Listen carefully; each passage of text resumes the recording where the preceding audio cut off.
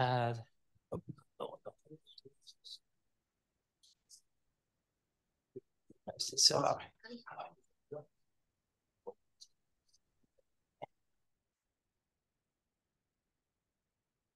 Euh, donc, on est très heureux d'accueillir Emmanuel de, euh, Delporte pour un séminaire sur euh, les perovskites et hybrides appliqués à la thématique du photovoltaïque. donc, Emmanuel travaillé sur un spectre de problèmes assez large sur les semi-conducteurs et leurs propriétés optiques et a été la première pionnière en France de cette thématique des perovskites qui s'est énormément développée ces dernières années. Elle personnifie également l'unification de Paris-Saclay. Donc, on voit que tout, euh, beaucoup de laboratoires et d'entités différentes participent à son activité de recherche et à son activité d'enseignement. Et donc, voilà, on est très heureux de l'avoir pour une séminaire. Merci beaucoup, Alexa, et puis merci beaucoup pour cette invitation pour euh, vous parler aujourd'hui euh, des perovskites hybrides halogénés. Et donc, je vais vous montrer que c'est un, nouveau semi-conducteur pour l'auto-électronique. Euh, mon séminaire est en français, les slides sont en anglais. Voilà. Donc voilà, je vous ai présenté ici les différents endroits où vous pouvez me trouver. Donc, euh, je suis professeur ENS Paris-Saclay, hein, donc bien sûr, vous pouvez me trouver là. Mon équipe de recherche, elle est basée au bâtiment 505 hein, et je passe à peu près 20% de mon temps à l'IPVF, l'Institut photovoltaïque d'Île-de-France, qui euh, se trouve pas loin d'ici, euh, du côté de l'école polytechnique, de l'autre côté de la 118. Voilà. Alors, euh, dans un premier temps, ah, ah, ah, ça a marché tout à l'heure. Là, ça ne marche pas. Faut cliquer sur l'écran. OK. Hop là. D'accord. Et après, ça va marcher? Oui, après, ça va marcher. Voilà, donc là, je vous présente une photo de euh, l'équipe de recherche euh, qui travaille sur, qui, est liée au perovskite, qui est basé au bâtiment 505. Donc, ce que vous pouvez voir, c'est que nous sommes une équipe multidisciplinaire, dans le sens que dans cette équipe, nous avons à la fois des physiciens, physico-chimistes et chimistes. Et c'est très important parce qu'on euh, se trouve devant un, nouveau matériau, il faut être à l'état de l'art.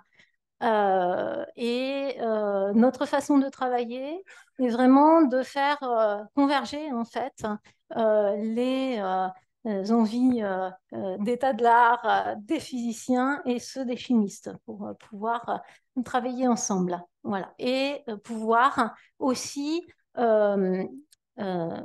changer le matériau à volonté parce que euh, vous allez voir, les propriétés physiques, euh, elles sont encore à découvrir. Et pour ça, avoir des matériaux dont on peut faire euh, l'engineering chimie à l'intérieur de l'équipe est très important.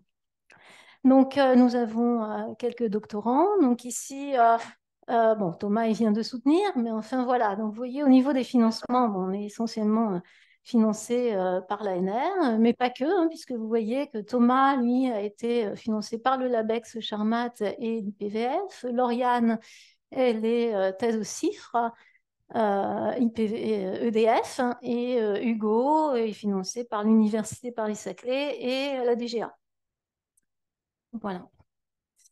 Alors, donc, tout d'abord, qu'est-ce qu'une perovskite hybride halogénée je vais vous présenter la plus connue, et celle qui est à l'origine du grand boom des perovskites il y a maintenant une, une dizaine d'années. Donc, vous voyez, elle a une formule chimique, CH3, NH3, PBI3. Alors, on la nomme MAPI parce que c'est méthylammonium, euh, donc euh, d'où le MA. Le P est là pour le plomb et le I pour l'iode. Donc, vous reconnaissez ici euh, les octaèdres qu'on trouve euh, dans les grandes familles de perovskites. Hein. donc, peut-être que vous connaissez les perovskites oxydes. Bon. Là, ce sont des perovskites halogénés dans le sens qu'au sommet de ces octaèdres, vous trouvez des halogènes. Pour celle-là, MAPI, c'est de l'iode, mais ça pourrait être du brome, du chlore. À l'intérieur des octaèdres, vous avez le plomb. Donc, ces octaèdres sont la partie inorganique de, euh, de cet arrangement-là. Et vous voyez que euh, entre les octaèdres, vous avez ici la molécule de méthylammonium. C'est une toute petite molécule. Alors, euh, c'est donc la partie organique, d'où le nom hybride. Voilà, hybride. Alors, il faut savoir qu'on appelle ça une pérovskite 3D parce qu'en fait, les porteurs de charge, électrons et trous, puisque c'est un semi-conducteur, vont être, euh, se déplacent de euh, d'octaèdre en octaèdre. Donc, en fait, a priori, hein, les porteurs de charge se trouvent dans la partie inorganique. Donc, on pourrait penser que cette partie organique, finalement, n'est pas importante mais elle est très importante parce que c'est elle qui donne le squelette euh, de, cet arrangement-là. C'est-à-dire que si cet arrangement est cubique, c'est parce que la taille du méthylammonium est parfaite pour avoir cet arrangement. Voilà. Donc, euh, dès que vous changez de molécule, et ça je vais vous en parler euh, dans la suite, eh bien, les octaèdres vont être tiltés, pour ne plus avoir exactement ce genre d'arrangement. Alors ensuite, facile à faire. Ben oui, parce qu'en fait, les perovskites hybrides, ça se fait en solution, à température ambiante. C'est ce qu'on appelle la soft chemistry. Donc, vous voyez ici un cristal hein, qui est fait euh, alumine par euh, Gaël Allard. Et ben, vous voyez, on est en solution, on mélange dans un solvant, euh, les précurseurs. Hein, donc les précurseurs, c'est le méthylammonium, le sel hein, de méthylammonium, et puis le sel de plomb, ici PBI2. Voilà. Vous chauffez et vous voyez, en un temps euh, assez rapide, vous obtenez des gros cristaux. Voilà.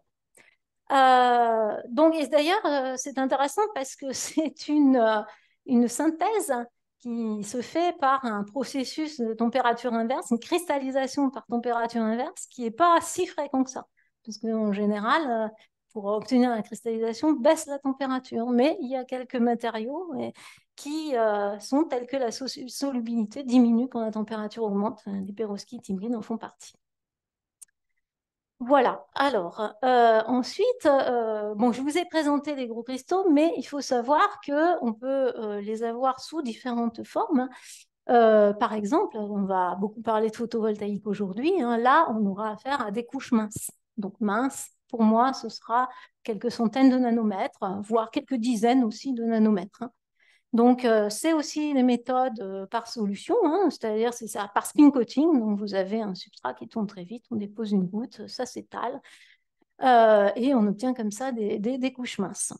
Voilà, donc là, Gaëlle, effectivement, est une spécialiste au laboratoire et c'est pas si facile que ça. Vous allez voir quand on verra les perovskites 2D de faire des cristaux, des beaux cristaux.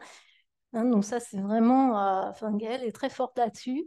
Alors après, vous avez aussi toute une partie des perovskites qui se trouvent dans euh, les nanoparticules ou les nanoplatelets. Hein. Par exemple, au laboratoire, Elsa euh, qui a travaillé sur des nanoplatelets. Euh, donc là, vous avez euh, ben, des dimensions euh, nanométriques hein, de, de, ces objets-là. Cédric Mayer, qui travaille avec Gaël d'ailleurs, qui lui fait des nanoparticules colloïdales. Il faut savoir que les perovskites, on peut aussi les faire par évaporation. Hein. Il y a des collègues qui sont ici, qui étudient d'autres façons de déposer les perovskites, aussi, par exemple, ou Alexei aussi. voilà, donc, euh, mais c'est vrai que le côté solution processed, il est quand même très intéressant pour les applications parce que ça va être des dépôts euh, finalement euh, bas coût. Alors voilà, donc dans notre équipe, donc multidisciplinaire, on s'occupe de synthèse. Vous voyez ici les très jolis cristaux qui ont été obtenus par Gaël. On fait de la physique autour des propriétés excitoniques, c'est-à-dire des propriétés des paires électrons-trous liées par interaction coulombienne. Donc, en utilisant euh, de l'optique, hein, de la photoluminescence résolue en temps, de la microphotoluminescence, on peut faire du mapping hein, aussi de, couches minces, par exemple. Euh, Elsa Cassette, elle utilise l'ultra-fast spectroscopie. Voilà. Donc, euh, et puis, on a des collaborations pour euh, utiliser ces, euh, ces euh, dans le cadre, par exemple, de l'étude de Polariton, ça ce sera avec l'INL à Lyon, pour les diodes électroluminescentes, on collabore avec XLIM, donc et puis avec l'IPVF pour les cellules solaires. Voilà. Donc là, dès qu'il y a un, assemblage, hein, nous, alumine au 505, on va travailler sur le matériau lui-même. Dès qu'il y a un assemblage, on travaille avec des collaborateurs. Voilà. Alors voilà ce que j'ai choisi de vous montrer euh, aujourd'hui. Donc, euh, vous reparlez des perovskites 3D, pourquoi un tel succès euh, dans le domaine du photovoltaïque et quelles sont les limites? Et ben, ces limites, hein, maintenant, depuis 10 ans, il faut pouvoir, il faut, il faut pouvoir les, les solutionner. Et pour ça, eh bien, les perovskites hybrides ont un avantage, c'est la flexibilité chimique et en, particulier, euh, nous, euh, dans, l'équipe, on travaille depuis très longtemps sur les perovskites 2D, donc je vous parlerai des, des perovskites 2D. Donc on commence par les perovskites 3D que je viens de vous présenter. Voilà, alors, donc quand on travaille dans le photovoltaïque, on a affaire à ce diagramme hein, qui vient de National Research Energy Laboratory aux États-Unis et qui, depuis 1975, recense les records de toutes les filières photovoltaïques qui existent. Donc, en bleu, c'est le silicium. En vert, c'est le CIGS, cadmium, indium, germanium, sélénide. C'est aussi un, semi-conducteur inorganique. En rouge, les semi-conducteurs organiques, les célèbres cellules de Kretzel, donc qui utilisent des molécules comme photoabsorbeurs.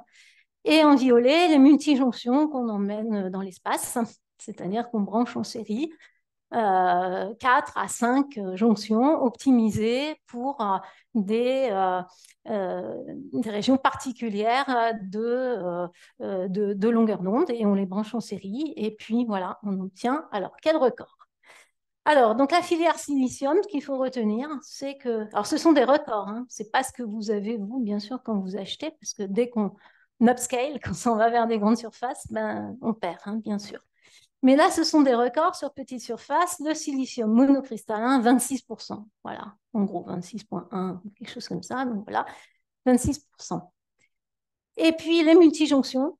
Alors là, si euh, le recordman, hein, avec peut-être 4 ou 5 euh, jonctions, 47%. Euh, voilà. Alors il faut savoir qu'avec le silicium, on est près de la limite théorique de Shockley-Kaiser. C'est-à-dire que la limite théorique, elle est aux alentours de 30%. Euh, eh bien, euh, avec le silicium monocristallin, on n'en est pas loin. Voilà.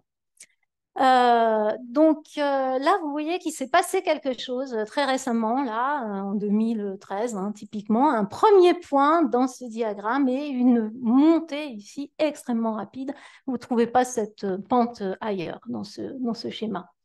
Eh bien là, justement, ce premier point, il a été d'utiliser une perovskite hybride comme photoabsorbeur en utilisant la technologie développée euh, dans cette filière rouge des semi-conducteurs organiques. Et en fait, euh, euh, là, ce premier point, sans aucune optimisation, a permis de sortir de ce plateau, vous voyez, des semi-conducteurs organiques qui avait lieu à cette époque. Et donc là, il faut savoir que ça a été vraiment un raz-de-marée. Hein. Il y a vraiment énormément d'équipes qui se sont mis dessus. Alors quand il y a beaucoup de monde, bah, effectivement, il, a, fallu optimiser le matériau, optimiser l'architecture, etc. Et ça a monté très très rapidement. Et donc, en une dizaine d'années, eh ben, maintenant, maintenant, en monojonction, on a des records de, de... Alors, je vais vous montrer parce que, voilà, j'ai fait un zoom quand même, vous verrez mieux. Donc, euh, on a des records maintenant de 25,8. Vous voyez que par rapport au silicium, euh, bah, c'est pratiquement pareil. Donc, euh, ça vaut le coup quand même de regarder un peu ça de près. Et puis, sur les multijonctions, parce que maintenant, on va brancher en série une cellule silicium et une cellule perovskite hybride, ben, on obtient des... alors là, on attend encore plus record. En 2-3 ans, on est arrivé à des euh, records de 33.2. Et puis là, en fait, euh, j'ai regardé dernièrement euh, ce diagramme pour le séminaire, c'est même 33.7. Voilà. Alors que 33.2, ça date de mai, hein, de la conférence de mai. Donc voilà. Donc en fait, assez rapidement, la communauté a dit, bah, c'est vraiment un breakthrough. Et alors là, la explosion du sujet. Hein. Donc voilà, il y a des milliers, des milliers d'articles par an. voilà, c'est euh, donc, euh, bien sûr, la pérovskite, maintenant, tout le monde est, d'accord pour dire que ça donne un solide avantage au solaire, hein, comme le dit ici Daniel Linko. Et donc, pourquoi? Pourquoi un tel succès, finalement, dans le photovoltaïque? Alors, quand on veut convertir l'énergie solaire en énergie électrique, en fait, il faut trois choses. Il faut trois choses qui marchent bien. Il faut photogénérer les paires électrons-trous. Ensuite, comme euh, on a des électrons et des trous, il y a de l'interaction coulombienne qui normalement crée euh, de l'attraction entre ces, charges et donc il faut savoir les séparer.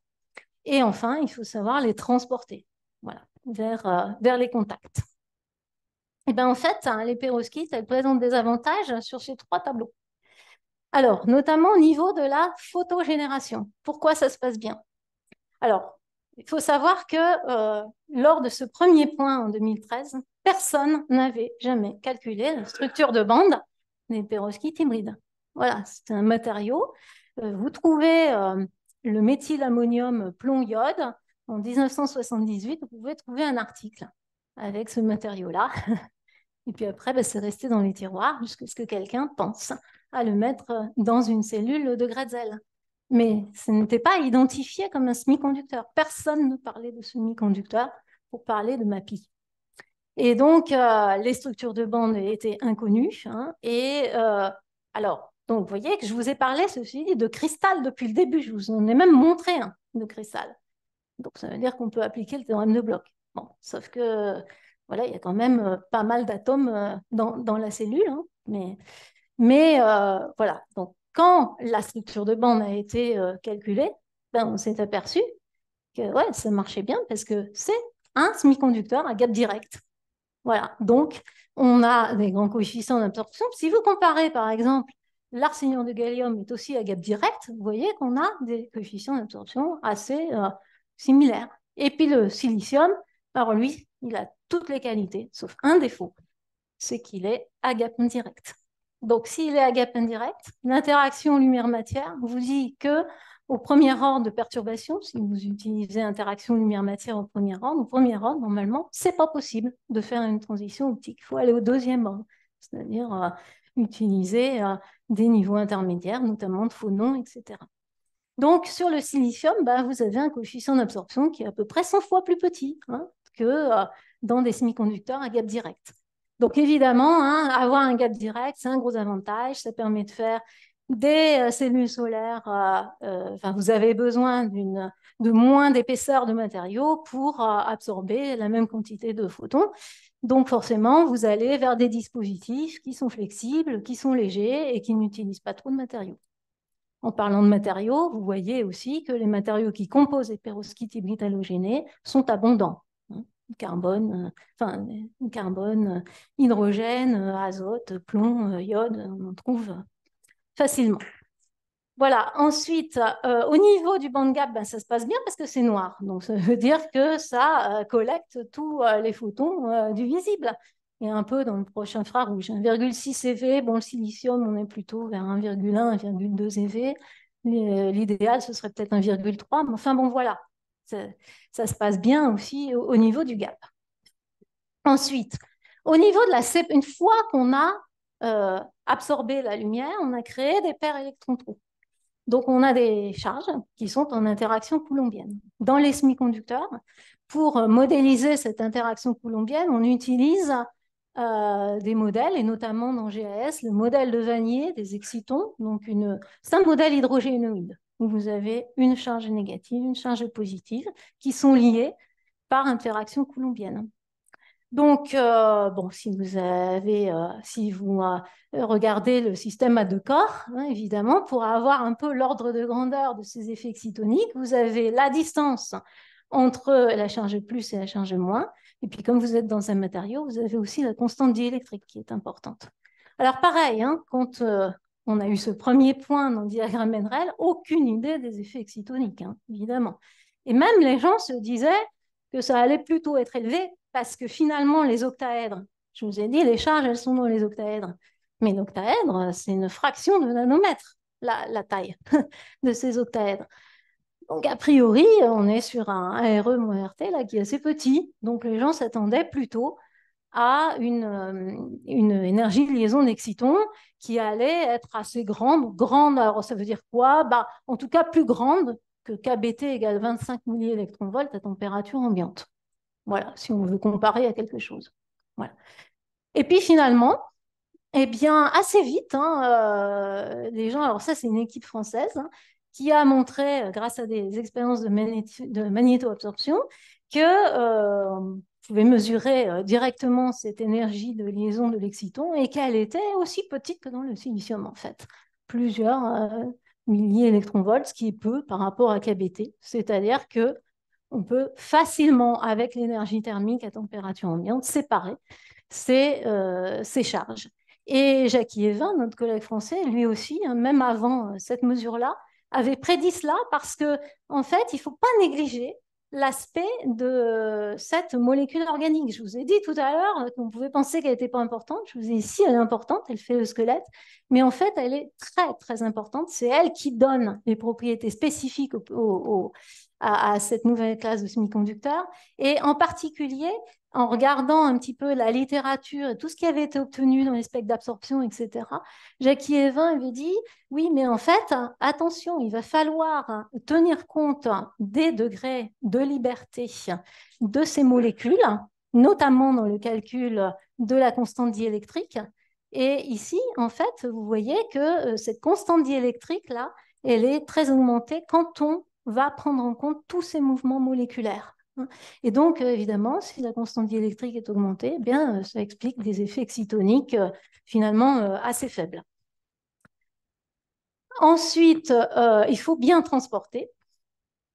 Alors là aussi, beaucoup d'études parce que, en fait, au début, les gens ne comprenaient pas hein, pourquoi il y avait un tel succès. Bon, et puis là, il y a encore des gros, gros points d'interrogation. Mais en tout cas, ce qui apparaît, c'est que la, la longueur est très importante. C'est, enfin, les paramètres très importants, c'est pas que la mobilité en fait. C'est la mobilité, mais multipliée par le temps de vie des porteurs. Donc au début, quand on regarde que la mobilité, les gens disaient bof, il y a quand même euh, un, sacré euh, facteur, à peu près euh, deux ordres de grandeur, un, deux ordres de grandeur entre ce qu'on va trouver dans le silicium et ce qu'on trouve dans les perovskites hybrides première réaction, c'était de dire, waouh, transport, ça va peut-être pas être formidable. Et puis, évidemment, on n'a pas forcément pensé au temps de vie, parce que dans un semi-conducteur direct, si l'absorption se fait bien, c'est-à-dire que la probabilité de transition se fait bien au niveau de l'absorption, ça doit se faire bien aussi au niveau de l'émission. Donc, on attend des temps de vie plutôt courts dans des gaps directs, genre nanosecondes dans gallium arsenide. Gallium arsenide. Et puis, euh, finalement, euh, on se rend compte que le temps de vie, eh ben, il est plutôt de l'ordre de la microseconde. Voilà. Non, il évidemment, il faut quand même un matériau qui soit assez cristallin. Hein. Si c'est plein de défauts, ça va être plus petit. Mais enfin, bon, ça, peut avoir euh, microsecondes, comme dans le silicium. Mais le silicium, c'est normal, c'est un gap indirect. Donc, veux dire, si l'absorption, si la probabilité d'absorption est petite, la probabilité d'émission est petite aussi. Donc, euh, bon, là, là, c'est étonnant quand même d'avoir des temps de vie euh, aussi longs dans un gap direct, c'est étonnant. Et là, en ce moment, c'est les débats dans la littérature. Pourquoi? Voilà, pourquoi? Alors, est-ce qu'il y a des effets de spin euh, singulé, triplé Est-ce que c'est de l'effet bas parce qu'il y a un grand spin orbite, un bande de conduction, etc. Enfin bon, voilà. Là, en ce moment, c'est très discuté. Et puis, euh, l'autre chose aussi euh, très étonnante, c'est que vous voyez ici euh, une image MEB des couches de perovskite qu'on met dans les cellules solaires. Ben, c'est, voilà, je veux dire, on est loin du silicium monocristallin. Donc, il y a une quantité, mais colossale de défauts. Et eh ben, ça marche aussi bien que le silicium. Ben, pourquoi? Voilà. Pourquoi On appelle ça la tolérance aux défauts. Et là, actuellement, c'est aussi un très, très grand euh, sujet euh, euh, de débat, cette tolérance aux défauts. Il y a l'histoire de la molécule organique, de la présence de la molécule organique aussi, qui vient dans, ces débats-là, qui vient écranter, en fait, les, effets coulombiens autour de ces défauts, on peut imaginer que ces défauts soient plutôt en bande de conduction et pas dans le gap. Donc, si c'est comme ça, bah, ils ne sont pas gênants. Alors que dans le silicium, le moindre défaut, il est dans le gap. Et ça, je peux vous assurer que c'est gênant. Et c'est pour ça qu'on fait du silicium monocristallin. Voilà, donc encore beaucoup de questions, mais vous voyez qu'en fait, ça coche les trois euh, demandes pour le photovoltaïque. Hein. Et donc, en fait, on peut dire que dans le même matériau, on a toutes les propriétés utiles, mais qu'on trouve dans le même matériau, alors que d'habitude, on ne les a pas dans le même matériau. Je vous ai mis ici euh, en, bleu ce qui est bon et en, vert ce qui est en noir ce qui est moins bon. Bah, vous voyez, là, je vous ai dit, euh, longueur de diffusion, séparation des électrons et tout, ça se passe bien, oui, comme dans le silicium. Mais le silicium, ben, il est moins bon pour absorber, euh, il est opaque, euh, il faut plus de 1000 degrés Celsius pour le faire fondre, pour faire fondre le sable. Euh, et puis, vous voyez, ce qu'il y a de bien avec les semi-conducteurs organiques, c'est qu'on a très bons coefficients d'absorption, ils sont flexibles, ils sont légers. on peut, en changeant la molécule, changer facilement le gap. Ils sont aussi faits par procédé en liquide, bah, les perovskites aussi. Mais en tout cas, pas le silicium, lui, il n'est pas fait par des procédés en liquide. Donc, vous voyez, vous avez euh, euh, tout, tout, rassemblé dans le même matériau. Et puis, au niveau maintenant des modèles, donc on avait l'habitude hein, de modèles euh, de band structure pour les semi-conducteurs inorganiques. Pour les molécules, on avait aussi d'autres modèles. Et en fait, en réalité, pour les hybrides, eh ben, il faut vraiment hybrider ces deux modèles de physique. Et c'est ce qui se passe en ce moment. Voilà. C'est-à-dire que pour l'instant, euh, dans la littérature, on est sur la recherche de bons modèles, notamment les phonons. Ça, c'est la, depuis euh, un ou deux ans, euh, les gens se sont aperçus que l'approximation harmonique pour les phonons, ça ne marche pas. Voilà, il faut traiter l'anharmonicité. Bon, mais là, ça change pas mal de choses. Donc, sur l'interaction et le tronc-phonon, il y a beaucoup de travail. Et puis, donc, c'est un semi-conducteur justement mou, parce que la présence de cette partie organique lui donne des propriétés spécifiques. Vous voyez qu'en fait, je vous ai dit, la, la, petite, euh, le petit effet excitonique, il est dû à la présence de la molécule, la grande longueur de diffusion aussi, etc. Donc, on, se trouve vraiment devant des propriétés spécifiques qu'on va pouvoir changer à souhait, euh, juste par la chimie, en fait. Hein. Donc, on est vraiment devant une nouvelle classe de semi-conducteurs pour laquelle il faut aller chercher de nouvelles propriétés et développer de nouvelles méthodes. Alors, ce côté euh, chimie facile, euh, low cost, solution processed, euh, il est intéressant. Je vous ai parlé du spin coating parce que aussi ça le rend compatible avec tout ce qui existe en optoélectronique et qui se fait à partir de couches minces.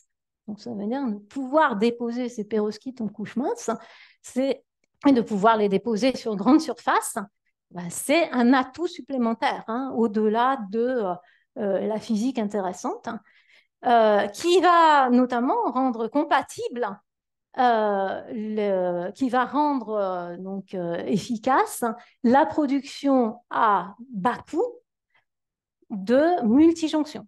Parce qu'actuellement, les multijonctions qui partent dans l'espace, c'est fait par des méthodes de semi-conducteurs inorganiques, donc euh, moléculaire, BIM, épitaxie, etc. Enfin, je veux dire, il faut des gros moyens. Alors que là, on va pouvoir s'appuyer sur une technologie mature, celle du silicium, et rajouter dessus une technologie euh, low cost, euh, soft chemistry, qui sont les perovskites. Parce que l'avantage aussi des perovskites, c'est qu'on peut facilement varier de gap. Il suffit de changer l'halogène. Avec l'iode, vous vous trouvez dans le proche infrarouge. Avec le brome, dans le visible. Et avec le chlore, vous allez trouver un gap dans le proche UV. Et ensuite, vous pouvez mixer, si vous voulez, les halogènes pour avoir exactement le gap que vous voulez. Donc, pour les perovskites euh, tandem silicium-perovskite, l'idéal, ce serait d'avoir un 3EV. Ben voilà, il faut trouver la composition, et ça se fait assez facilement, juste en changeant les sels d'ammonium, pour avoir des records. C'est pour ça que ça va très vite dans les perovskites, euh, dans les, euh, dans les cellules multijonctions. Et puis bah, maintenant, les gens rêvent aussi à des perovskites qui seraient entièrement, à des multijonctions qui seraient entièrement perovskites. Ouais, bon, ça. Alors que ça, c'est pas encore. Euh, enfin, il y en a qui existent dans la littérature, hein, mais les, records, ils sont sur le silicium euh.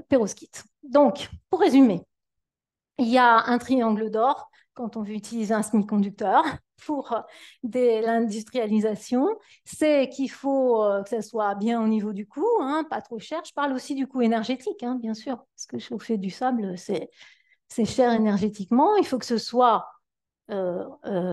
qui ait des, records, il faut que ce soit efficace et qu'il y ait des hauts records. Donc ça, on coche, il n'y a pas de problème. Bon, alors maintenant, quel est le prix à payer? Ben, Le prix à payer, donc il y a déjà des prototypes, hein, grande surface, etc. Mais le prix à payer, ben, c'est vrai que c'est la stabilité. Et puis bon, voilà, on va dire un mot du plomb quand même. Parce que bon, il y a du plomb. Ça ne vous a pas échappé. Alors, euh, bon, la stabilité, je veux dire quoi? Ben, C'est que si on laisse une couche de MAPI comme ça sur son bureau, assez rapidement, quand même, ça va se transformer en PBI2. Alors ça, je vous sors un vieux truc ici en quelques jours. Effectivement, euh, le méthylammonium s'était évaporé. Bon. Euh, mais alors, ceci dit, moi je dis toujours que les perovskites, elles contiennent finalement, grâce à la flexibilité chimique, elles contiennent euh, le fait de pouvoir trouver des solutions. Voilà. Donc, il faut savoir que sur ce type de molécule, vous pouvez tout changer. Voilà, si vous voulez ne pas avoir de plomb, ben voilà, vous cherchez un autre métal bivalent, voire euh, bismuth, par exemple, qui est de valence 1, qui existe sous la valence 1 et 3, on peut faire des doubles perovskites, si on veut.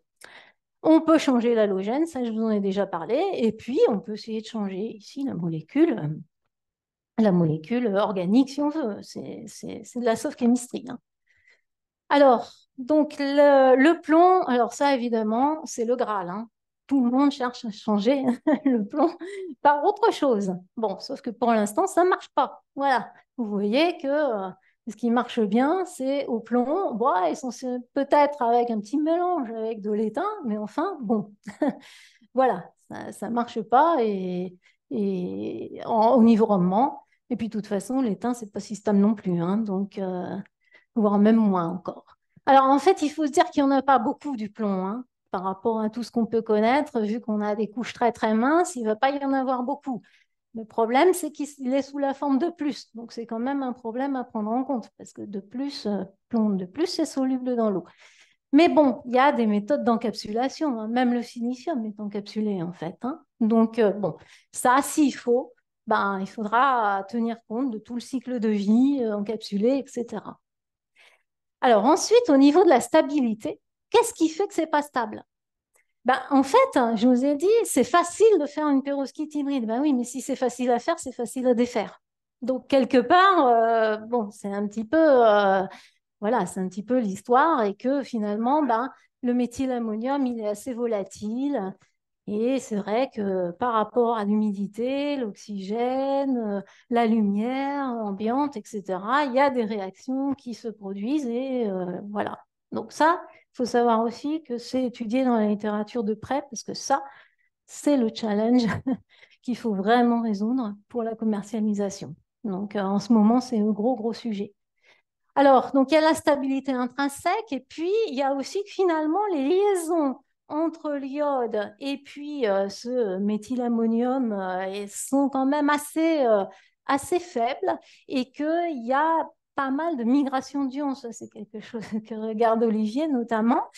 Et donc, euh, l'iode, en fait, bouge. Hein, c'est un, semi-conducteur mou, tout bouge dedans. Voilà, la molécule organique, elle bouge. L'iode, euh, il bouge. Enfin, donc, on peut dire aussi que c'est un semi-conducteur ionique, finalement, dans ce sens-là. Et donc, quand on branche, ben, l'iode euh, va aller vers les électrodes évidemment dégrader ces électrodes. Donc, ça a beaucoup de, propriétés, enfin de, conséquences néfastes. Hein. Mais là, en fait, ce que je veux vous montrer, c'est qu'on a plein d'outils hein, quand même pour essayer de, passer au-dessus de tout ça, en travaillant sur l'architecture. Par exemple, ici, ben, voilà, on a une pérovskite, mais si on met un contact d'or directement au contact de la pérovskite, ça ne va pas bien se passer. Donc, il faut mettre des couches intermédiaires et on peut gagner beaucoup vous voyez ici, là, ce qui se passe si on ne met pas de couche intermédiaire et là, si on en met une. Ensuite, euh, eh bien, on peut varier la composition de ce matériau, notamment les perovskites tout inorganiques, c'est-à-dire dans lesquels je vais remplacer la molécule organique, le méthylammonium, par du césium. Celles-là, elles sont beaucoup plus stables. Alors, on va me dire, ben oui, mais pourquoi on ne les utilise pas? Ben Parce que le césium, regardez ici, vous avez Ici, euh, par exemple, le césium qui est ici. Alors, le méthylammonium, il y a, pour obtenir une euh, structure cubique avec le bon gap, comme je vous ai montré, eh ben, en fait, il faut. le miracle arrive avec le méthylammonium parce qu'il a la bonne taille. Mais si vous voulez remplacer par autre chose, par exemple, une autre molécule organique comme le formamidium qui est plus stable, ouais, mais le formamidium, il est plus gros. Et donc, vos octaèdres, ils ne vont pas être exactement arrangés pareil et vous, allez changer le gap. Euh, donc, voilà, euh, légèrement. Dans le césium, ici, il est trop petit. Voilà, alors là, ça a deux conséquences. Il est trop petit, ça change le gap. Et ensuite, il existe plusieurs structures et manque de chance. La structure thermodynamiquement stable, celle qu'on obtient plus facilement, c'est celle qui a un gap dans le visible, à plus de 2 EV. Donc ça, ça ne va pas. Donc en fait, ce que font les gens, ben, c'est qu'ils font un, mélange de tout ça pour réobtenir la bonne structure et le bon gap. Et puis ensuite, euh, ils travaillent sur l'halogène pour être à l'optimum du gap et obtenir euh, les rendements. Donc vous voyez, ça fait des choses quand même assez complexes. Hein. Mais bon, en stabilité, c'est pas mal aussi quand même. On gagne bien. Hein. Et puis, alors, on pourrait se dire, bon, ben, tant qu'à euh, parler de la taille, ben, peut-être que si on changeait carrément la taille, c'est-à-dire si on allait chercher des molécules beaucoup plus grosses, aller au-delà de ce facteur de Goldschmidt, qui est le facteur qui vous dit si vous obtenez une structure perovskite ou pas, eh bien, euh, voyons un petit peu ce qui se passe si on introduit un euh, cation à la place du méthylammonium beaucoup plus gros. Eh bien, à ce moment-là, on obtient des perovskites 2D. Et donc voilà, je vais arriver à, la deuxième partie de euh, mon exposé, parce que donc je vous ai montré jusqu'à présent qu'on avait des bonnes propriétés physiques pour le photovoltaïque, des problèmes à résoudre, le plomb, mais surtout la stabilité, que pour résoudre la stabilité, on va chercher dans la flexibilité chimique. Et maintenant, je vais vous, montrer que euh, en étendant la famille des perovskites hybrides à d'autres types de perovskites, les perovskites 2D, eh bien, on peut aussi euh, trouver des solutions à, cette stabilité. Alors, il faut savoir que la stabilité, je vous ai parlé de quelques jours au début, on est quand même à plus de trois ans maintenant, en quelques années. Donc, il y a de gros progrès qui se font. Hein. Donc, euh, et c'est pour ça qu'il y a beaucoup d'efforts qui sont mis là-dessus. Alors, donc, l'idée, c'est de se dire, bon, maintenant, voilà, euh, je suis très contrainte dans une perovskite 3D parce qu'il n'y a pas grand-chose qui rentre entre mes octaèdres. Donc, allons-y carrément, essayons de mettre un cations très gros, du genre euh, phényléthylammonium ou ici butylammonium. Alors, qu'est-ce qui se passe quand on introduit dans la solution de précurseur ces gros cations? Eh bien, en fait, ça revient à couper votre structure 3D euh, suivant certaines directions. Vous pouvez couper suivant la direction 1-1-0 ou 1-0-0 ou 1-1-1. Moi, je vais me focaliser sur un type particulier de perovskite 2D qui est euh, couper euh, suivant la, la direction 1, 0, 0. Voilà. Et donc, dans ce cas-là, vous vous trouvez devant une structure qui est comme ça. Donc là, vous avez votre perovskite 3D. Puis si vous coupez suivant 1, 0, 0, vous introduisez des gros cations, ça va vous donner une, euh, structure multi-couche. voilà. Avec ici une couche des, organiques qui sont euh, liés par interaction de Van der Waals, essentiellement, hein, en tout cas pour le phényléthylammonium. Et puis, euh, vous avez des couches 2D, pour le coup, d'octaèdres. Donc, en fait, au niveau de la conduction, hein, les électrons et les trous, ils se promènent dans un plan fait par ces octaèdres. Si vous jouez sur la stoichiométrie, vous pouvez avoir deux plans d'octaèdres entre des plans organiques ou trois plans. Et si vous en avez beaucoup, bah, évidemment, vous retrouvez la, la perovskite 3D. Voilà. Alors, un plan organique, un plan d'octaèdre. Eh ben, au niveau de la structure électronique, c'est une structure électronique de puits quantique. C'est-à-dire que le gap qui correspond à la partie inorganique ici est plus petit que le gap qui correspond à la partie organique. Voilà. Donc, vous vous trouvez avec ce qu'on appelle un puits quantique de type 1, c'est-à-dire que vous confinez vos électrons et vos trous dans la euh, couche 2D d'octaèdre. Donc, vous avez des forts effets de confinement parce que la taille des octaèdres, c'est une fraction de nanomètre. Donc, très fort effet de confinement. Et en plus du confinement diélectrique, parce qu'évidemment, la constante diélectrique de la barrière et celle du puits sont très différentes.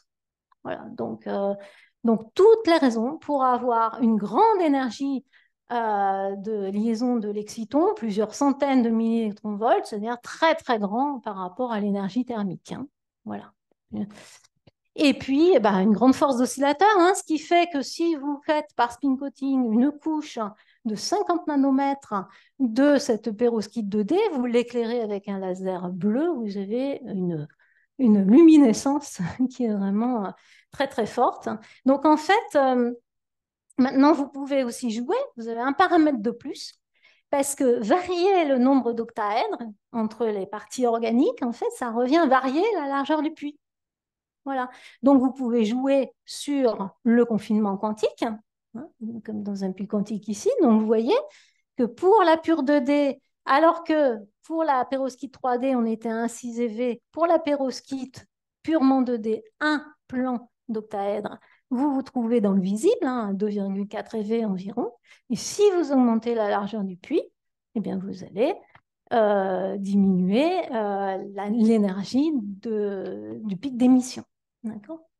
Et, ensuite, sur l'énergie liaison de l'exciton, bah, dans le 2D, ils sont vraiment dans le même plan. Quand vous augmentez la largeur du puits, bah, là, ils ont plus de, de latitude de bouger l'un par rapport à l'autre. Donc, vous allez aussi pouvoir varier euh, la, la, force de vos effets excitoniques. Et ici, je vous montre les très beaux cristaux obtenus par Gaël Allard donc ici, avec une couche d'octaèdre, deux couches d'octaèdre, trois couches d'octaèdre. Hein, donc vous voyez qu'on passe du euh, jaune euh, au, euh, au, noir. On voit bien que le gap a varié. Pas facile hein, d'obtenir ce genre de cristaux parce qu'en en fait, quand vous mélangez les, précurseurs, vous obtenez un mélange de phases. Vous avez un petit peu tout dans votre couche, du n égale 1, du n égale 2, etc. Et donc là, c'est un, travail euh, assez incroyable quand même pour avoir des monocristaux avec une seule phase. C'est très important pour faire de l'optique hein, et aller chercher des, propriétés euh, intéressantes. Donc, pour résumer, eh bien, vous avez ces perovskites 2D qui vont avoir des forts effets excitoniques très intéressants pour l'émission de lumière et puis euh, tous les cas intermédiaires jusqu'à la 3D qui est très bien pour le photovoltaïque. Donc vous voyez, la pérovskite hybride, elle est très bien pour le photovoltaïque, mais pas que. Il y a aussi des euh, applications autres sur l'émission de lumière notamment. Et nous avons en fait, qu'est-ce qui s'est passé historiquement? Ben, Historiquement, les pérovskites 2D, elles étaient connues bien avant les pérovskites 3D. Et je me suis mise à travailler sur les pérovskites 2D parce qu'il y avait un, un travail vraiment formidable fait par euh, David Mizzi, euh, qui euh, avait commencé à faire des LED, des transistors, un groupe japonais qui avait travaillé déjà sur les polaritons, vous voyez, en, 1998. Nous, on s'y est mis en 2000. Ben oui, j'ai commencé à chercher, c'était 2002-2003. Premier article 2006 sur les polaritons. Ensuite, on a fait beaucoup de choses autour des polaritons. Hein. Euh, à l'époque, on collaborait avec le C2N et Jacqueline Bloch. Et puis, euh, bah voilà, ça c'est le, même pour vous montrer qu'on continue, bien sûr, de travailler sur l'émission de lumière. Mais aujourd'hui, puisqu'il ne me reste pas beaucoup de temps, hein, genre 5-10 minutes, eh bien, je vais vous parler des perovskites 2D dans le contexte du photovoltaïque. Voilà, puisqu'on était parti là-dessus. Alors, donc ces perovskites 2D, c'est bien parce que encore plus de flexibilité chimique que euh, le 3D. Mais là, on peut se dire, ouais, pour le photovoltaïque, c'est pas très bien parti. Parce que quand même, je vous ai dit, ça va être difficile de séparer l'électron et le trou. Ça, c'est pas bien. Ensuite, ben, je vous ai dit, ah oui, mais si je confine, le gap, il va être dans le visible, à plus de 2 EV. Ça, pour collecter les photons du soleil, c'est pas bien. Ensuite, si on regarde au niveau transport, ça va pas bien se passer parce que en général, quand on dépose par spin coating, eh bien, les plans d'octaèdre eh sont parallèles au contact. Donc, euh, pour passer de là à là, il faut donc passer par une partie organique qui est isolante. Bon, donc on a des propriétés de transport qui sont fortement anisotropiques. Mais moi, avant cette rupture de photovoltaïque, on faisait des 2D, on laissait les 2D sur le bureau. Je ne dis pas qu'elles vieillissaient pas, mais en tout cas, euh, pas, pas comme les 3D. Donc, euh, mais oui, en fait, elles sont beaucoup plus stables, les perovskites 2D. Pourquoi? Bah, Parce que déjà, les cations plus gros sont moins volatiles, ils sont plus gros. Ensuite, on peut les rendre hydrophobes. Là, je vous ai parlé du phényléthylammonium, mais si on accroche un petit fluor sur le cycle benzémique, c'est encore plus hydrophobe. Donc, vis-à-vis de l'action de l'humidité, ça se passe plutôt bien. Et puis, la migration d'ions, en fait, ça, euh, c'est l'iode qui migre. Et en fait, comment le bloquer? Bah, Si on met des couches isolantes, ça va moins, ça va moins migrer. Donc en fait, il y a plusieurs raisons pour ça, et elles sont plus stables. Donc c'est pas gagné, c'est vrai. Et au début, je vous cache pas, hein, il y a des gens qui disaient, euh, au début, hein, moi je présentais mes perovskites 2D et on disait, ben non, ça marchera jamais pour le photovoltaïque. Sauf qu'un jour, il y a quelqu'un aux États-Unis ici qui a euh, réussi alors pas euh, qui a réussi à changer l'orientation des plans, à mettre les plans perpendiculaires ici au contact. Voilà, ce qui fait que ben, à l'intérieur des plans d'octaèdre, le trou pouvaient bien euh, se balader. Alors ça, ça a été obtenu en chauffant le substrat et surtout, ce n'est pas obtenu pour des phases purement 2D, c'est obtenu pour des phases intermédiaires du genre n égale 3, n égale 4. Parce qu'il faut rattraper son gap aussi. Il faut que le gap il soit plutôt dans, le, proche, euh, euh, enfin la, partie rouge plutôt. Et donc, vous voyez qu'au niveau stabilité, hein, ça, ça a mis vraiment la puce à l'oreille aux gens. Oui, bah oui, c'est quand même beaucoup plus stable. Bon, dans le temps. Donc après, eh bien, la communauté s'est mise à travailler sur les 2D. Les records qu'on a obtenus, c'est 22%. bon, c'est le plus grand record que je connaisse, enfin, en tout cas, à ma connaissance. Et là, si vous regardez ici, en fonction de la date de publication, les records, en noir, vous avez les records avec la perovskite 3D. Là, tous les efforts qui ont été faits sur la perovskite 2D, c'est pas mal, hein, ça augmente beaucoup, mais c'est encore un peu inférieur quand même au 3D bah, à cause des effets de confinement, hein, ça c'est clair, et de la difficulté de séparer les électrons et les trous. Donc du coup, eh ben, du coup, on se dit que bah, si on veut le beurre et l'argent du beurre, il bah, faut peut-être faire des hétérostructures de D3D. Voilà, pour avoir les avantages du 2D, c'est plus stable, et les avantages des 3D, euh, grand record voilà, de, rendement. Et en fait, de fait, les gros, euh, les, gros progrès qui ont été faits, c'est en mettant une couche de 2D sur une couche de perovskite 3D. Voilà. Et, il faut savoir que les protocoles, hein, actuellement, sur les gros rendements, ils utilisent ça. Mais alors, ceci dit, ils utilisent ça, mais en fait, il y a beaucoup de questions de physique, en fait, qui apparaissent là-dessus. Parce que, finalement, bon, mettre une couche de passivation, ça se fait partout, ça se fait dans le silicium. Donc, on peut se dire, bah, finalement, on met une couche avec des gros cations, ça va passiver, c'est-à-dire que ça va euh, compenser tous les défauts qui sont en surface, donc finalement, augmenter, euh, enfin avoir un gros effet sur les temps de relaxation, etc. C'est exactement ce qu'on fait dans les autres semi-conducteurs. Mais on peut se poser la question quand même, parce que là, on ne dépose pas n'importe quel cation. Quand on dépose un cation comme le fétinéthylammonium, normalement, ça fait une perovskite 2D.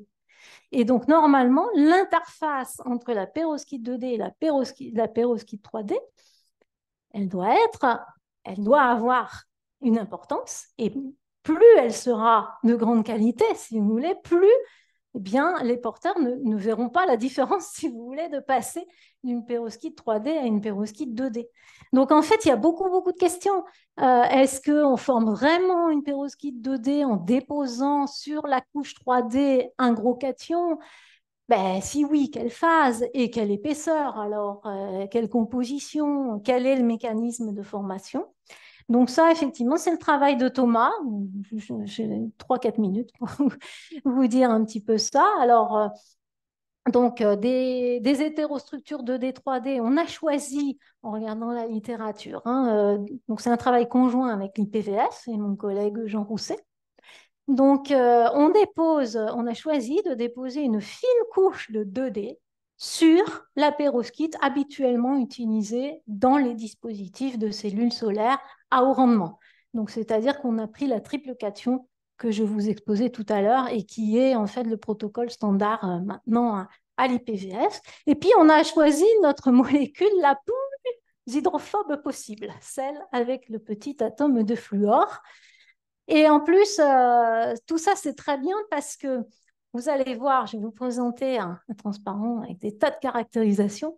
Et le fait de se dire que du fluor, il n'y en a que dans la pérovskite 2D et que du césium, il n'y en a que dans la pérovskite 3D, bah, ça permet justement de bien caractériser l'interface et ce qui se passe à l'interface.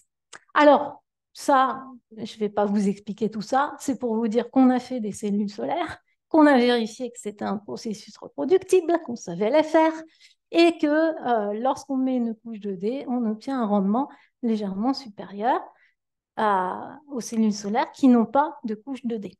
Voilà.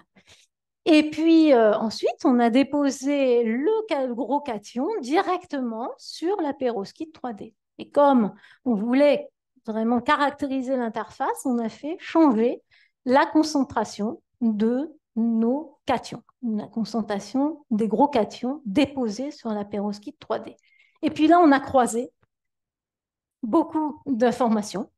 On a croisé les informations structurales, la diffraction X, les informations optique, la photoluminescence, les informations morphologiques, aussi en faisant euh, des cross-section euh, SIM, et puis on est allé caractériser l'interface par des mesures de XPS qui sont vraiment allés chercher la composition chimique hein, au niveau de l'interface.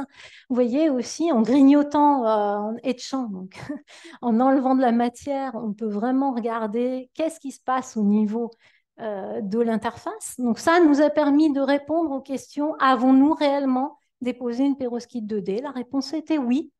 Et plus on augmente la concentration de cations, et plus cette couche sera épaisse. Euh, ensuite, euh, ça a permis aussi d'avoir à peu près l'épaisseur donc, euh, il faut savoir qu'ici, on a à peu près 30 nanomètres, on arrive à le voir, alors que, vous voyez, quand on dépose une concentration plus faible, c'est du genre 2-3 euh, nanomètres. Alors, on a pu dire qu'effectivement, dans la littérature, on trouve un mécanisme. On a pu dire, ben oui, en fait, la triple cation est faite avec un, excès de PBI2. Nous aussi, on voit qu'on utilise cet excès de PBI2 pour former de la pérovskite 2D. Euh, Mais on a vu aussi, grâce à notre choix d'avoir euh, varié, si vous voulez, la composition de façon à pouvoir reconnaître la pérovskite 2D et la pérovskite 3D, on a vu aussi qu'on avait une concentration de brome qui ne peut venir que de la pérovskite 3D dans la pérovskite 2D. Et ça, le mécanisme habituellement vu dans la littérature ne permet pas d'expliquer cette présence de brome on ne peut expliquer cette présence de brome que en invoquant un autre mécanisme, un, mécanisme d'échange de cations, qui est avéré. Hein. On peut tout à fait, il y a des choses rigolotes, on fait des nanoparticules de, euh, de, de MAPI, on les plonge dans un, bain de, gros cations et on les change euh, comme ça en perovskite 2D, c'est réversible. Hein. Ben ça, ça se passe aussi à la surface. Et c'est très important de savoir tout ça parce que il faudrait pouvoir changer le cation vraiment pour optimiser cette interface. Ensuite, 2-3 nanomètres, ben ça reste encore beaucoup. Hein. 2-3 nanomètres de perovskite 2D, comment ça se fait qu'on obtient des, des, records aussi importants? Que se passe-t-il au niveau de l'alignement de bande à l'interface? Voilà, donc euh, bien, je vais vous résumer un petit peu les, les, temps forts. Donc, euh, ce que je voudrais que vous reteniez, c'est que les pérovskites hybrides halogénés, ben là, voilà, il voilà, eh bien, sont une nouvelle classe de semi-conducteurs qui ont des propriétés spécifiques dues à la partie organique, qui présente beaucoup de flexibilité chimique, hein, qui euh, euh, va en tout cas jouer pour pour euh, euh, solutionner euh, des, problèmes. au niveau de la physique, il y a encore vraiment beaucoup de choses à faire, vraiment. Les phonons, l'anharmonicité, comme je vous disais, l'interaction électron-phonon. Maintenant, tout ce qui a inclus le spin, les structures fines, les effets Rajba, Antonio qui travaille là-dessus, les défauts, Olivier Plantevin travaille dessus, les interfaces. Ça, c'est vraiment aussi le sujet important que, évidemment, on a des propriétés physiques très intéressantes pour le photovoltaïque, mais pas que, que ça ouvre, euh, plus on, comprend les propriétés, et plus on se dit que eh ben, finalement, ça va avoir des conséquences hein, sur d'autres euh, applications. Euh, il y en a d'ailleurs qui sont plus ou moins émergentes. Hein. Donc celle-là, les LED et les lasers, ça, depuis 2014, c'est quand même quelque chose qui est très, très, très actif. Les photodétecteurs, parce qu'il y a du plomb. Alors pour les rayons ionisants, c'est très très bien. Ça, c'est pareil, hein, c'est quelque chose qui a démarré très très vite. Alors après, ici, vous avez deux applications plus émergentes, hein, parce que comme je vous ai dit, le spin, il y a encore un petit peu de travail à faire dessus. Mais en tout cas, grâce à cet effet bas il va y avoir euh, des percées dans le domaine de la spintronique, hein, ça, augmente beaucoup. Et puis plus récemment, la photocatalyse, même si les perovskites n'aiment pas beaucoup l'eau, mais c'est un sujet qui euh, émerge beaucoup aussi. Voilà, donc euh, maintenant je vous remercie pour votre attention. Voilà, on a un GDR autour des perovskites hybrides halogénés. On fait des journées des perovskites hybrides, des workshops, des webinars. Euh, voilà, support de la mobilité, etc. voilà. On est structuré maintenant hein, depuis 2017. Euh, voilà, autour de cette thématique. Je vous remercie pour votre attention.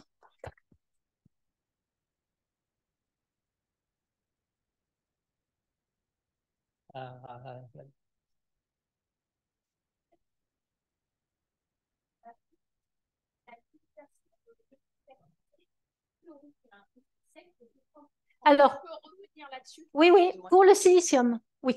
Pour le silicium, alors c'est-à-dire que tu mets dans les modèles, euh, le silicium, il est connu depuis très longtemps. Donc, tu connais des tas de paramètres. Tu connais les effets de relaxation, les effets des défauts. Enfin, tu connais tout ça. La, mobilité, etc. Et donc, euh, quand tu mets ça dans les, modèles, euh, il y, a des modèles, des algorithmes, enfin, tu vois, vraiment des, des choses qui euh, concentre tout ça et qui te calcule les rendements théoriques à partir des, paramètres que tu rentres, et eh ben pour le silicium, hein, tu obtiens 33%. Euh, Alors ceci dit, Shockley Kaiser, ils n'avaient pas les algorithmes ni les ordinateurs. Donc, euh, c'est-à-dire que si tu prends en compte toutes les pertes possibles, eh bien, tu arrives à, grosso modo, un peu plus de 30% et tu ne pourras pas aller au-delà. Pour aller au-delà, il faut faire des multijonctions. Voilà, en monojonction avec les pertes qui existent dans le silicium. Alors, c'est quoi les pertes? Bah, Par exemple, quand tu crées une, paire électron-trou avec un, photon UV, le silicium, son gap, il est autour de 1 EV. Imagine que tu envoies un photon de 2 EV. Tu vas créer l'électron très haut dans les bandes. Alors, lui, il va avoir une histoire. Il va retomber en bas de bande. Mais en fait, euh, il va retomber par interaction électron-phonon, etc mais tu vois tu vas perdre de l'énergie, même si ton électron, il arrive en bas de bande, bah, tu as perdu un EV d'énergie, en fait, si tu l'as créé un, un, euh, trop haut. Donc, tu as utilisé un photon très énergétique, et puis finalement, au bout du compte, tu récupères qu'une paire d'électrons, pas plus. Donc, du coup, si tu veux, d'où l'idée des multijonctions, de se dire, bah oui, mais non, en fait, il faudrait récupérer il faudrait que je crée ma paire électron-trou le plus proche possible du gap. Comme ça, oui, ok, il descend, mais il ne perd pas trop d'énergie. Donc, je vais optimiser une cellule solaire pour que euh, les photons euh, proches du rouge euh, soient pris par cette cellule solaire. Et les photons les plus énergétiques, eh ben, je vais faire une autre cellule solaire qui me permettra de récolter les photons visibles, et puis une autre avec les photons UV. Je mange tout ça, alors c'est compliqué à faire. Hein. Parce que 5 cellules solaires en série, c'est, euh, je ne sais pas, 60 couches. Hein. donc, euh, c'est très, très complexe comme objet, donc c'est très cher. Mais dans l'espace, on n'a que ça à se mettre sous la dent au niveau énergie. Voilà. D'où l'intérêt de se dire que si on arrivait à faire ici, euh, grâce au perovskite, des cellules solaires tandem, pas chères, on pourrait multiplier par deux le rendement des cellules solaires silicium. Alors après, il y a aussi des autres, pour récupérer ces photons, ces, ces, ces électrons qui sont très très hauts dans les bandes, il y a aussi, si tu étudies les processus de relaxation, il faudrait peut-être réussir à ralentir cette relaxation et pouvoir capter les électrons avant qu'ils euh, tombent en bas de bande. Et ça, ça s'appelle l'étude des hot carriers. Voilà. Et ça, c'est bah, très important aussi. Et, parce que là, tu pourrais te dire, bah, avec une monojonction, je pourrais peut-être passer au-dessus de la limite de Shockley-Kaiser, hein, si j'arrivais à capter les électrons pendant qu'ils descendent, en fait, avant que de perdre toute l'énergie. Et ça, il paraît que les pérovskites, il y a des gens qui regardent ça, mais il paraît, euh, je n'ai pas encore très bien tout en tête, mais bon, apparemment, euh, ça pourrait être aussi une piste à regarder euh, pour les pérovskites. Voilà. Mais pour ça, il faut étudier les phénomènes de relaxation. voilà.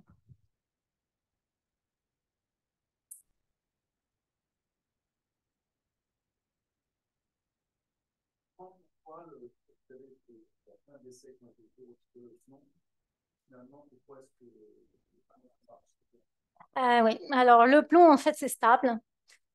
Bah oui, alors euh, bah, chimiquement, bah, finalement, dans les batteries, euh, on a aussi du plomb, donc c'est stable. Eh ben, en dehors de la stabilité, l'étain, par exemple, je peux te dire que ça, c'est pas stable parce que l'étain, ça existe sous une forme 2 et sous une forme 4 Donc, ça s'oxyde en fait très facilement. Le plomb ne s'oxyde pas facilement. Donc, euh, enfin, il s'oxyde. Mais en tout cas, l'étain, euh, lui, il s'oxyde très facilement. Donc, du coup, euh, l'étain, il est moins stable que le plomb. Ensuite, il y a quand même une histoire de taille aussi à chaque fois. Et donc, euh, si tu prends euh, des tailles différentes, tes octaèdres, ils n'auront pas la même tête et l'arrangement euh, électronique, structural non plus. Et le problème, c'est que même un tilt de quelques degrés sur les octaèdres, ça peut t'emmener sur des bandes gap qui sont dans le visible. Et ça, ça tue complètement, ça tue la collection, en fait, la, photogénération de porteurs, puisque tu te prives d'une partie du spectre solaire si tu as un gap trop élevé. Et donc ça, ça tue les rendements. Quoi. Voilà.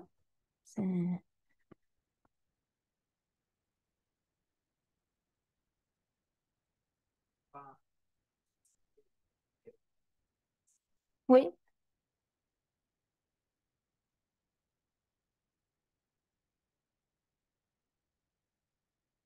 Alors ça, oui, ça, je ne sais pas. Je pense qu'il y a des études structurales à faire, mais moi, je ne sais pas parce que c'est de l'auto-assemblage, en fait. Donc, euh, les pérovskites 2D, elles sont toujours très orientées, et ça, on l'a vu, en fait, dès le départ. Et les pérovskites 2D, ça, tu n'arriveras pas à les orienter autrement que parallèlement au contact, en fait. Hein. C'est vraiment la, démonstration qui a été faite, c'est avec des pérovskites de n plus grand. Alors voilà, maintenant, il faut trouver des ruses pour que, euh, modifier cet auto-assemblage naturel.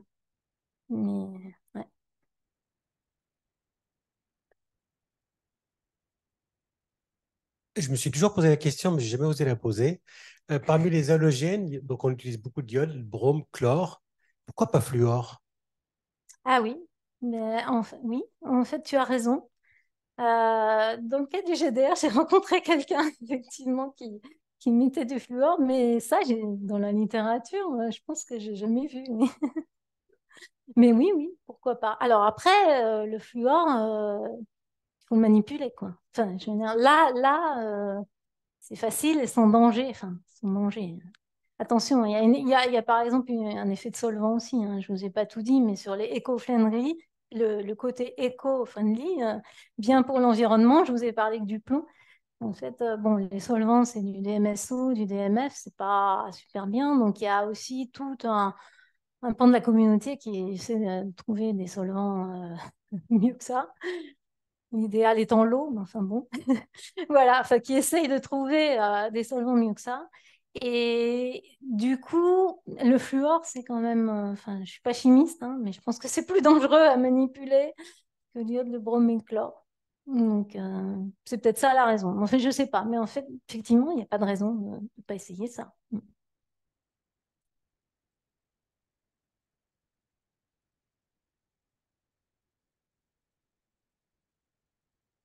Oui, alors l'Institut photovoltaïque d'Île-de-France donc euh, il a un bâtiment, hein, c'est une institution qui a été euh, euh, pensée, fondée par Daniel Linco, qui est un, électrochimiste très reconnu en France. Il a une, une chaire, la chaire Bettencourt au Collège de France, et lui, il s'occupe de la filière CIGS.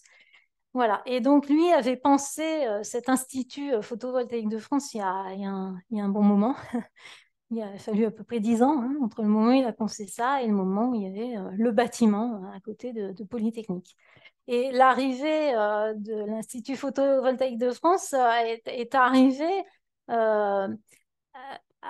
finalement, le, breakthrough des, des, dans, dans le photovoltaïque est à peu près arrivé aussi à ce moment-là. Donc, à l'Institut photovoltaïque d'Île-de-France, il travaille sur toutes les filières, de, de, photovoltaïque, toutes celles que je vous ai montrées, hein, euh, silicium, euh, CIGS, euh, organique et perovskite. Voilà. Et ils font aussi des, des cellules tandem. Alors, c'est un institut qui est à la fois public et privé. Les membres fondateurs sont Total, alors CNRS, les membres académiques, c'est CNRS École Polytechnique. Et les membres privés, c'est EDF, Total, il y avait Air Liquide avant aussi, qui était dans les membres fondateurs. Donc, c'est ce qu'on appelle une SAS. Voilà. Et donc, c'est un institut pour la transition énergétique, un, ITE. Et à l'intérieur de cet institut pour la transition énergétique, vous avez une UMR qui s'appelle IPVF aussi. voilà.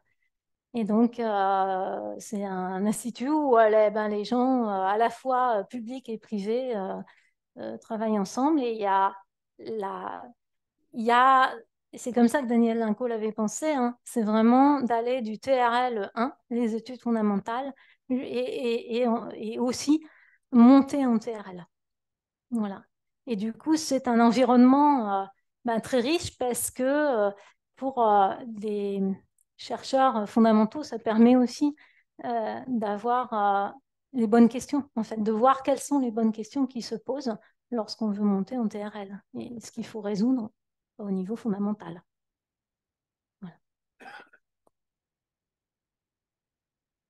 On remercie Emmanuel encore une fois.